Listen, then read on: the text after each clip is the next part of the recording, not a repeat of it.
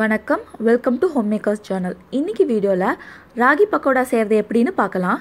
இது பார்க்குறதுக்கு கொஞ்சம் சுமாராக இருந்தாலும் டேஸ்ட் செம்ம சூப்பராக இருக்கும். இது ஒரு பர்ஃபெக்டான ஈவினிங் ஸ்நாக் அது செய்கிறதுக்கு தேவையான இன்க்ரீடியன்ஸ் பார்க்கலாம். ராகி மாவு வெங்காயம் இஞ்சி கருவேப்பிலை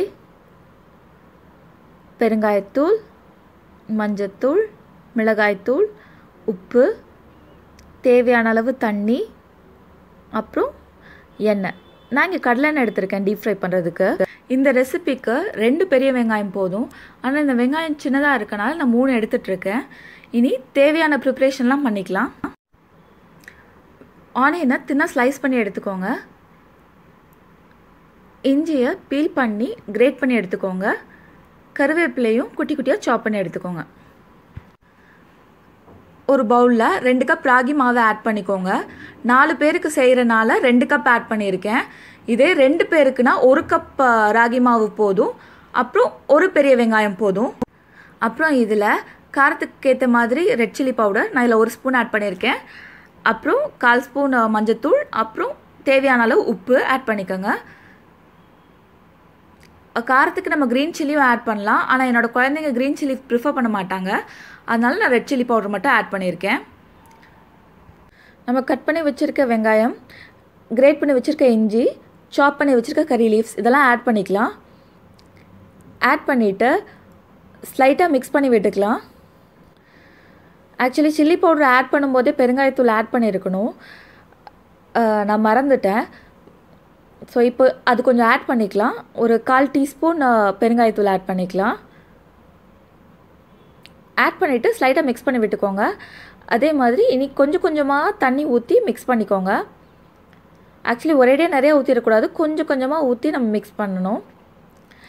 இதோ பக்கோடா மாவு தேவையான அளவுக்கு ரெடி ஆகிடுச்சு பார்க்குறதுக்கு இப்படி தான் இருக்கும் சைடில் ஒட்டாமல் தான் இருக்கும். இனி ஸ்டவ் ஆன் பண்ணி கடாயில் தேவையான அளவு எண்ணெய் ஊற்றி சூடு பண்ணிக்கலாம். நான் இங்கே ஃப்ரை பண்ணுறதுக்கு கடலெண்ணெய் யூஸ் பண்ணுறேன் நீங்கள் என்ன எண்ணெய் யூஸ் பண்ணுவீங்களோ அது யூஸ் பண்ணிக்கோங்க. எண்ணெய் தேவையான அளவுக்கு சூடானதும் நம்ம ப்ரிப்பேர் பண்ணி வச்சுருக்க பக்கோடா மாவுலேருந்து கொஞ்சம் கொஞ்சமாக கிள்ளி எண்ணெயில் போட்டு டீப் ஃப்ரை பண்ணிக்கலாம். நம்ம போடுறப்போ ரொம்ப சின்ன சின்னதாகவோ இல்லை ரொம்ப திக்காக மொத்தமாகவோ போடக்கூடாது. ஓரளவுக்கு மீடியமாக எடுத்து போடலாம். அதே மாதிரி ஹீட்டும் அளவாக வச்சுக்கோங்க. ரொம்ப சூடு ஜாஸ்தியாக இருந்தாலும் சீக்கிரம் தீஞ்சிரும் உள்ளே வேகாது. அதே மாதிரி ஹீட் ரொம்ப கம்மியாக இருந்தாலும் ரொம்ப சாகி ஆகிடும் நம்ம பக்கோடா போடுறப்போ ரொம்ப ஓவர் க்ரௌடும் பண்ணிடக்கூடாது. அது ஃப்ரை ஆகிற அளவுக்கு அதுக்கு ஸ்பேஸ் இருக்கணும். இப்போ பாருங்கள் ரெடி ஆகிடுச்சு நான் ஒரு பவுலில் டிஷ்யூ பேப்பர் போட்டு வச்சுருக்கேன். எக்ஸ்ட்ரா ஆயில் இருந்தால் அதை அப்சர்வ் பண்ணிக்கும் அப்படிங்கிறதுக்காக. இப்போது ஃபர்ஸ்ட் பேட்ச் எடுத்தாச்சு. மீதி ப்ரிப்பேர் பண்ணி வச்சுருக்க மாவையும் இந்த இதே மாதிரி பேட்ச் பேட்சாக போட்டு நம்ம டீப் ஃப்ரை பண்ணி எடுத்து வச்சுக்கலாம்.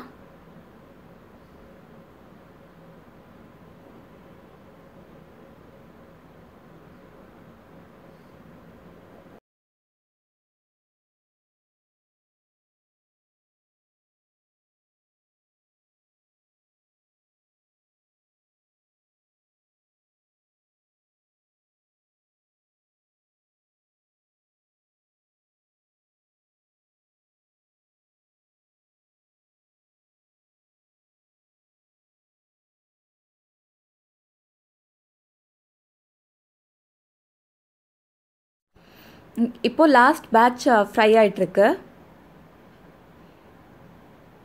ஃப்ரை ஆயிடுச்சு. இதையும் எடுத்தாச்சு.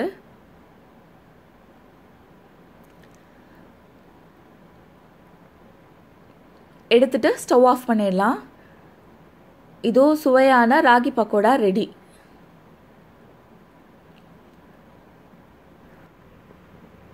இது கூட சர்வ் பண்ணுறதுக்கு டீயும் போட்டிருக்கேன். நீங்களும் செய்து பார்த்துட்டு சொல்லுங்கள் எப்படி இருந்ததுன்னு. இன்றைக்கி வீடியோ உங்களுக்கு பிடிச்சிருக்குன்னு நினைக்கிறேன். மீண்டும் அடுத்த வீடியோவில் சந்திக்கலாம். நன்றி வணக்கம்.